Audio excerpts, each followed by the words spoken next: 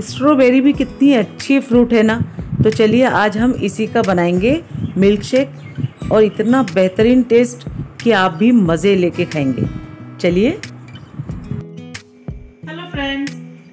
पाने वर्सिया में आप सभी का स्वागत है। मैं शाहिदा वर्सिया। तो आज हम बनाएँगे मिल्क शेक वो भी स्ट्रॉबेरी से। तो ये मिल्क शेक बनाना बहुत ही आसान है। इसमें बहुत कम चीज़ें लग रही हैं और आप तो पता है कि ये मौसम में स्ट्रॉबेरी आराम से मिल जाती है। तो इसे ले लीजिए और मैंने जैसे बनाना है, वैसे आप इसको ट्राई करें। और अच्छा लगे तो प्लीज़ लाइक ज़रूर दीजिए। तो चलिए शुरू करते हैं बनाना। तो ये ठंडी के मौसम में आसानी से मिल जाती है स्ट्रॉबेरी। तो यहाँ पर मैं दो डिब्बे ले रही हूँ।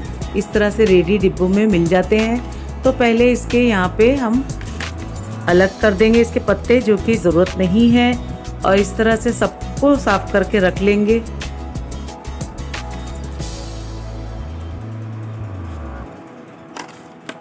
इसके बाद हम इसको पूरे सबको सफ़ाई होने के बाद पानी में डाल देंगे ताकि इसके सारी गंदगी जो भी होगी वो निकल जाएगी।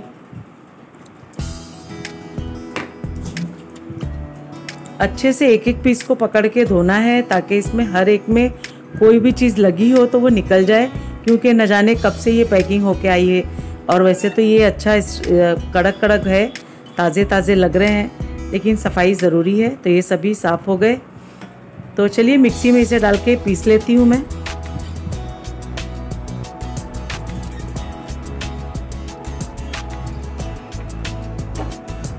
मिक्सी में हम इसे दूध के साथ पीसेंगे। तो दूध तो यहाँ डालना है, लेकिन शक्कर नहीं डालेंगे, क्योंकि हम विप क्रीम डालेंगे, जिसके अंदर ऑलरेडी शक्कर मिक्स है। तो यहाँ शक्कर का इस्तेमाल मैं नहीं कर रही। तो यहाँ पर हम विप क्रीम का इस्तेमाल करेंगे। तो ये शरबत, देखिए, पिस गया है इस तरह से। तो ये विप क्रीम को मैं इस तरह से डाल रही हूँ। और इसे भी हम चला लेंगे मिक्सी में।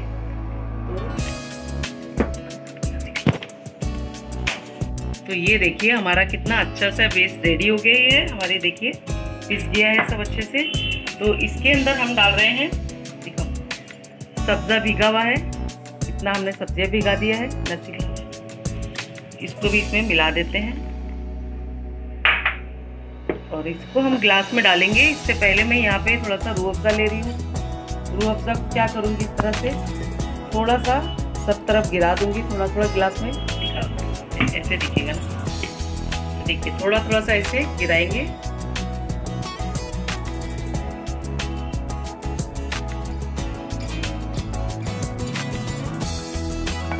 ये देखिए ग्लास में इस तरह से आ गया है। तो आप देखिए, ये हमारा रेडी हो गया और ये इस तरह से इसका बेस रेडी है। तो इस ग्लास में हम डालना शुरू करते हैं। दिख रहे हैं ना?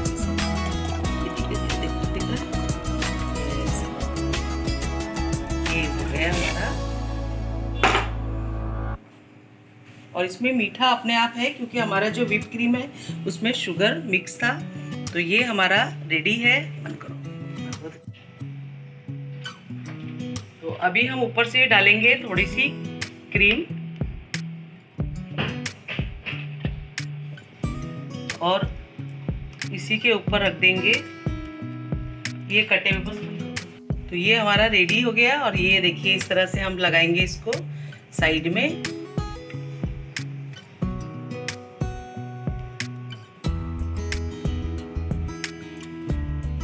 ये हो गया हमारा ये मिल्क शेक रेडी तो फ्रेंड्स कैसी लगी आपको हमारी रेसिपी ज़रूर कमेंट करके बताइए। और ये देखिए कितना खूबसूरत और बहुत ही बेहतरीन, बहुत ही फ़ायदेमंद और बहुत ही टेस्टी बना है हमारा ये मिल्क शेक अच्छा लगा तो प्लीज़ सब्सक्राइब करें मेरे चैनल को। लाइक दीजिए और ज़्यादा से ज़्यादा शेयर करिए फ्रेंड्स तो मिलते हैं अगली वीडियो में नई रेसिपी के साथ। तब तक के लिए बाय बाय टेक केयर अल्लाह हाफिज़।